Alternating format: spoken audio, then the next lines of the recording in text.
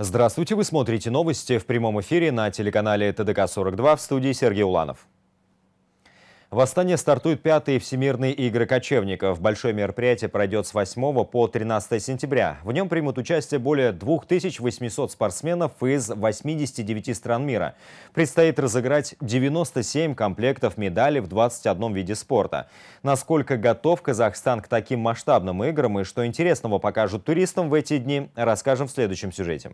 Открытие будет 8 сентября на стадионе Астана-Арена и в период пятых всемирных игр кочевников в медицинском штабе будут работать 150 медработников. Кроме того, на полях соревнований будут работать 23 ветеринара и помогать организаторам будут 1300 волонтеров. В традиционном охотничьем соревновании участвует порядка 45 птиц. Это орлы, соколы, ястребы из Монголии и Кыргызстана, а также птицы нашей национальной сборной. 5,7 миллиардов тенге всего потратили тратит на всемирные игры кочевников. Основные статьи расходов – это проживание и питание участников, а их ни много ни мало будет 2430 человек. Мы проводим пятые игры, есть свои сложившиеся традиции.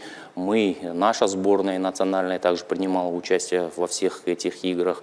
Э, в четвертых играх тоже э, участвовали в, Тур, в Турции наша сборная. И по всем этим традициям принимающая сторона всегда брала на себя расходы именно всех прибывающих гостей. На каждого гостя выходит 1 миллион 800 тенге, это приблизительно. Помимо проживания и питания участников еще нужен транспорт. Ну а что касается результатов и достижений, то, со слов организаторов, всего 97 комплектов медалей разыграют. По прогнозам, наибольшее количество получат борцы по Казахшаку-Рес, 16 комплектов медалей. Планируют взять не меньше 12. Рассказали про на аул, который станет площадкой для регионов. Каждый регион привозит по три юрты. Э, тем самым они презентуют свои регионы.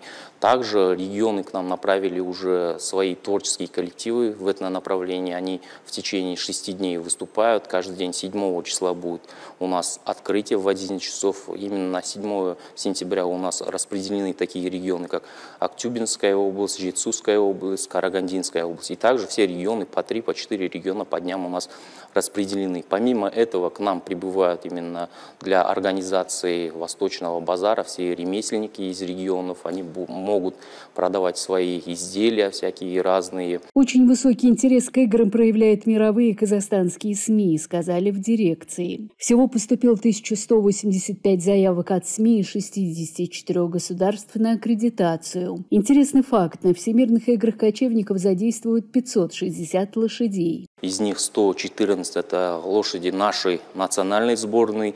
Из них 300 лошадей мы готовим для тех стран, которые приезжают без. Эта практика уже была применена в четвертых играх, когда проходила а, четвертые игры, всемирные игры кочевников в Турции. Мы для тех стран, которые подали заявки на конные виды спорта, предоставляем им 300 а, лошадей. Эти лошади спортивные, подготовленные.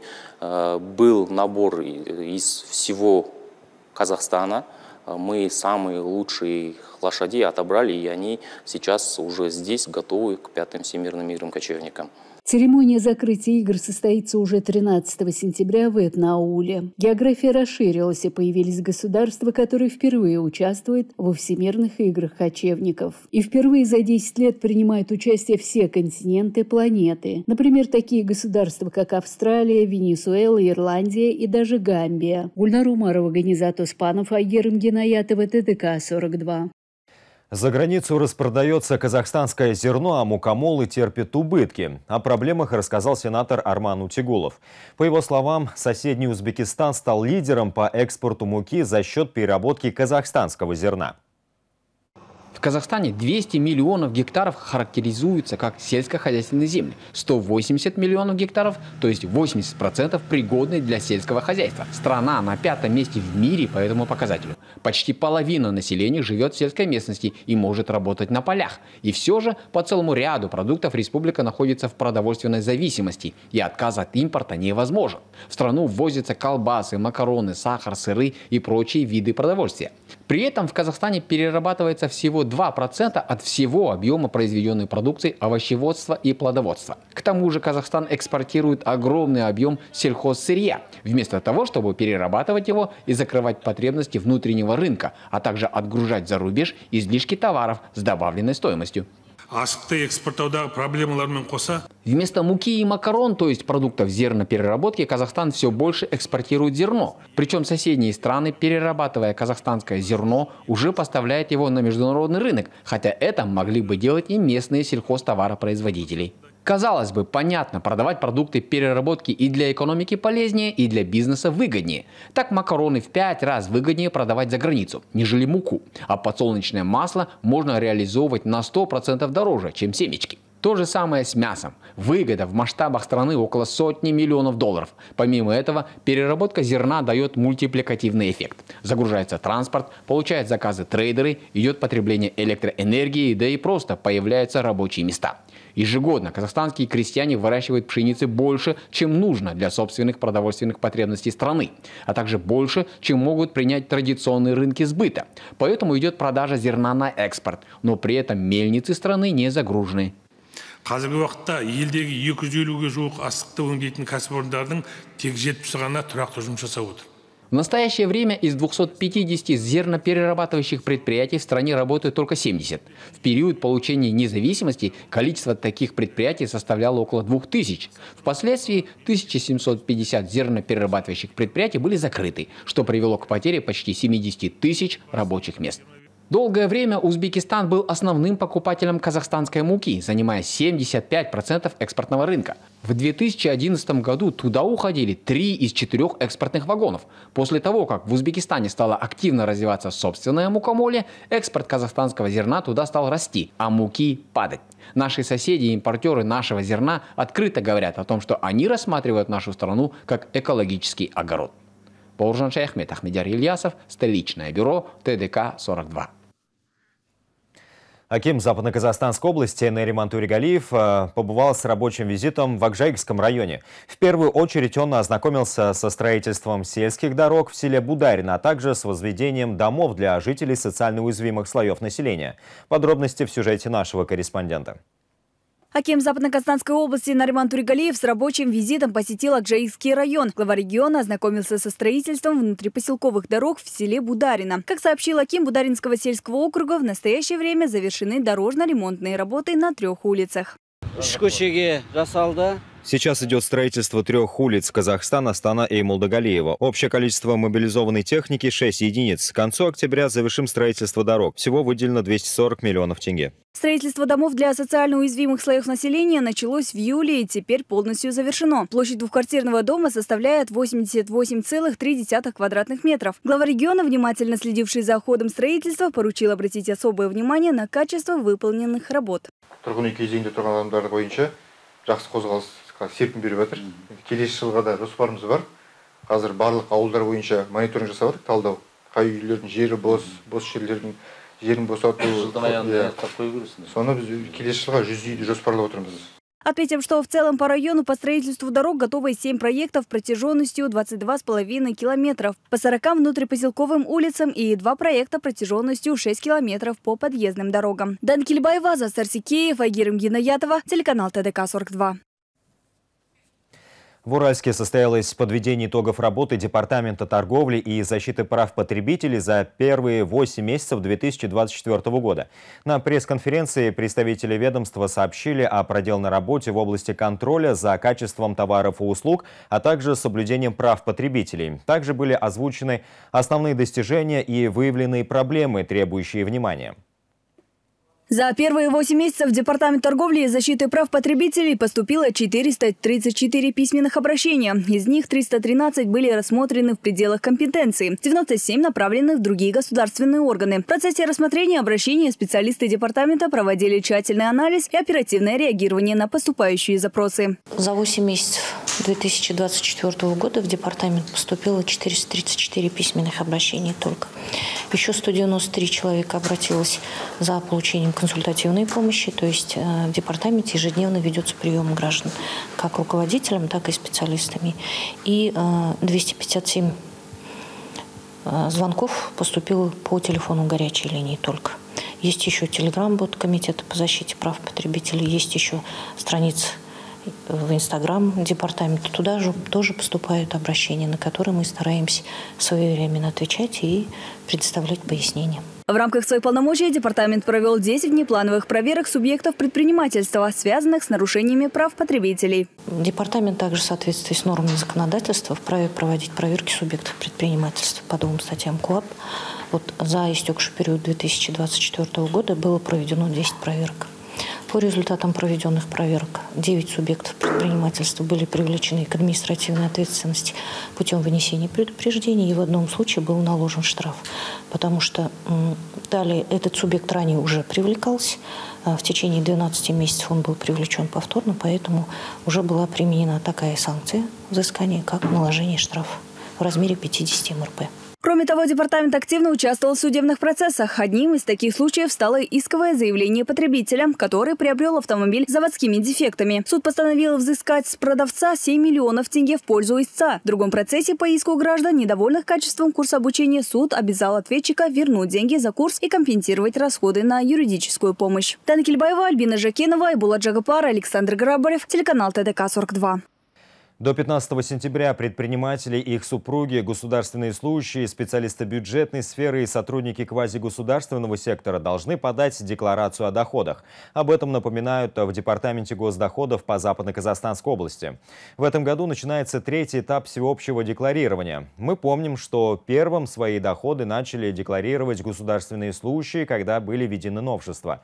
Эта мера была предпринята для предотвращения теневой экономики и борьбы с коррупцией. С начала следующего года все казахстанцы должны будут э, указывать свои доходы и подавать отчеты. Напоминаем вас о представлении декларации об активах и обязательствах и о доходах и имуществе. Декларацию можно подать в электронном виде, в кабинет налогоплательщика, порталы электронного правительства, также через мобильные предложения ЕСАЛЫК Азамат, ЕГОВ, Каспик, Изыхалык, банк, Центр кредит, банк и банки второго уровня.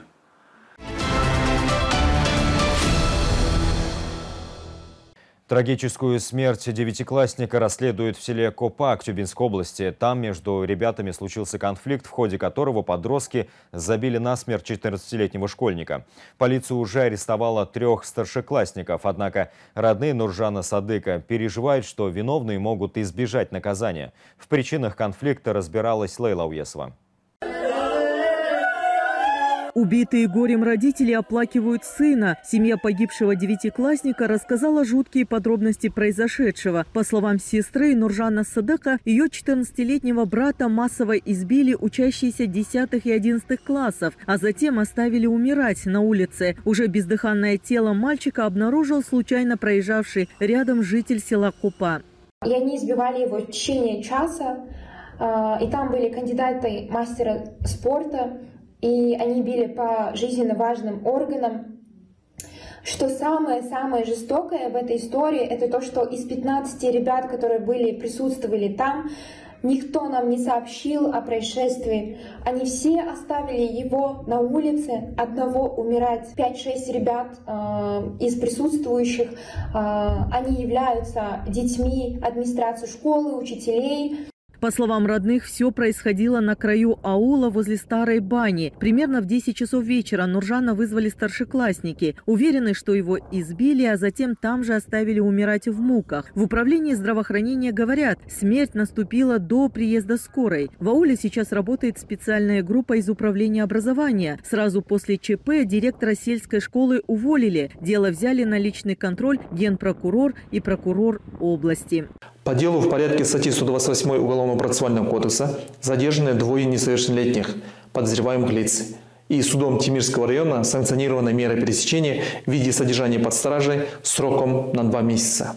Прокуратурой области внесено представление в адрес местного исполнительного органа с постановкой вопроса об ответственности Акима Тимирского района, должностных лиц управления образования и района. В полиции сегодня сообщили, что по данному факту задержали еще одного старшеклассника. Теперь подозреваемых трое. Все они учились в одной школе. Остальные участники драки находятся под домашним арестом, но точно их число правоохранители не говорят. Дело заведено сразу по двум статьям. Умышленное причинение тяжкого вреда здоровью, повлекшее по неосторожности смерть и хулиганство. Дежурной сутки установлены все участники данного происшествия, действия которым будет дана правовая оценка. Создана следственная оперативная группа. Водворены в ИВС трое несовершеннолетних подозреваемых. Несмотря на социальный статус, родственные связи и положение, виновные лица будут привлечены к ответственности. Однако семья погибшего опасается, что виновные не понесут должного наказания. В школе села Купа учатся около 250 детей. Десятки из них, по словам родственников, пострадали из-за дедовщины, о которой знали многие, но почему-то вскрылось все только после жестокого убийства. Лейла Уисова, Жумарт Кудайбергенов, телеканал ТДК-42, Актюбинская область. Более 900 фактов пересечения пешеходами проезжей части в неустановленных местах выявили в одном из регионов. Нарушители уже привлечены к административной ответственности. Однако меньше их не становится, говорят в МВД. Например, в Туркестанской области полицейские на постоянной основе проводят профилактические мероприятия. При этом, как отметила полиция, некоторые пешеходы даже не отрываются от телефонов, пересекая проезжую часть. Одни слушают музыку через наушники, а другие разговаривают по телефону. Это тоже отвлекает пешеходов и создает риск на дорогах региона. С начала года, как мы озвучили ранее, в одной только Туркестанской области 900 нарушений именно по пешеходам. Пешеходам, пересекающим проезжую часть в неустановленных местах, грозит штраф в размере 2 МРП. При повторном нарушении правил дорожного движения в течение одного года штраф увеличивается до 10 МРП. Статистика показывает, что одно из трех дорожно-транспортных происшествий происходит с участием нерадивых пешеходов. Поэтому стоит помнить, что пересечение проезжей части в неустановленном месте опасно для всех участников дорожного движения.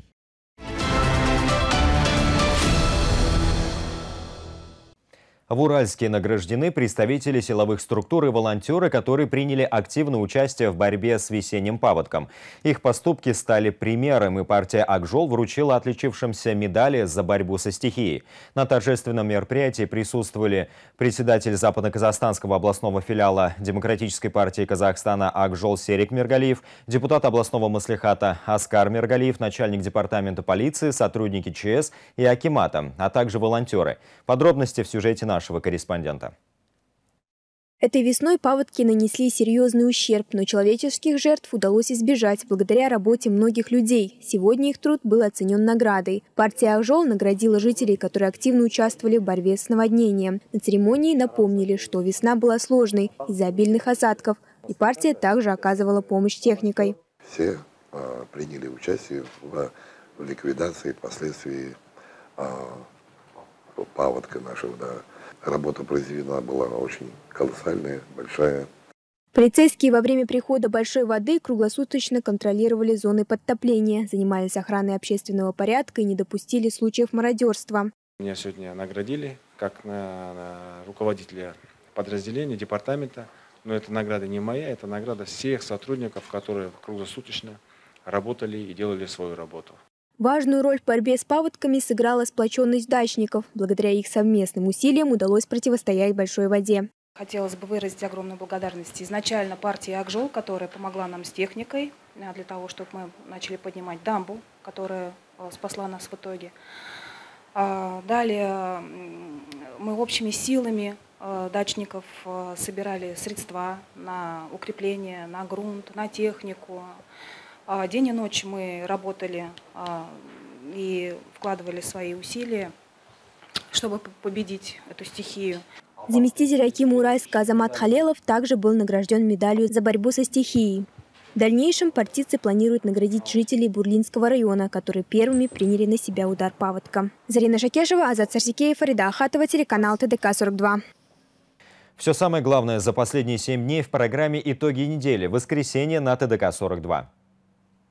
Это были все новости к этому часу. Смотрите нас в социальных сетях и на сайте tdk42.kz. Спасибо за внимание и до встречи в эфире.